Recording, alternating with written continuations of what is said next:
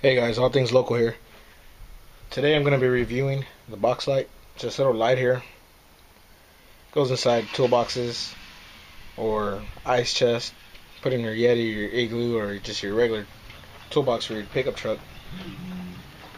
On this box light, on the back here, has four little screws. You take out the screws, you put in three AAA batteries. And then it has these little plastic slides. And it comes with another little bracket. On the other side of that bracket, it just has double sided tape. So you could just mount it on your toolbox. Like on the, the one I have over here on the right hand side of the hinge, you can see there. I'm going to show you how it works. Alright, this is the bracket I was talking about. Not this one up here. That's for the locking of the toolbox. But this one down here, this is the one that's held by double sided tape. And right here, this is a better view of the slides. All you do is slide it into place with your lights facing down.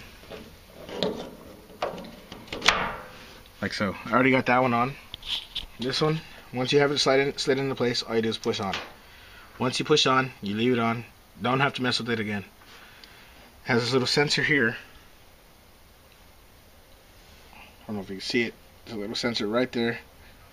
And that's your sunlight sensor. So during the day, you can open up your toolbox, do whatever work you got to do, leave it open. It won't be killing your battery. Your light will stay off. So once you got it set up like that, this is the way it looks from back here.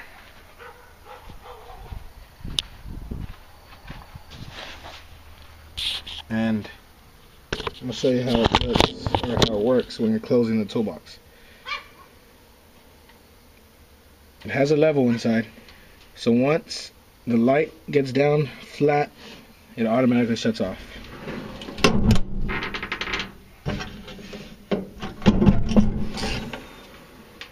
And as you open it, it turns back on automatically. Now let me show you how bright it is. Alright, you can see it's pitch dark. I'm coming up to my toolbox and I'm opening my toolbox now. And there you go. Yeah, both lights on. And you can see inside your toolbox. Now my, on my camera does look a little dark, but it is bright in here.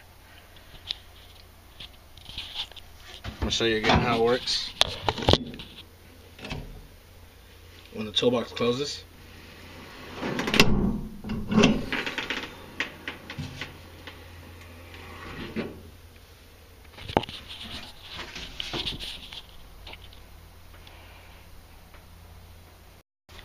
And this is how it looks from behind my truck.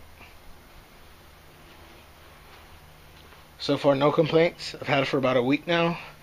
Opening and closing at night. Batteries are lasting. They say they they say they're water resistant, and it's a whole lot better than hooking it up yourself. I was gonna run some wire to my truck with the light inside. I figured this would be a better route. So, that's it. Thanks for watching, guys.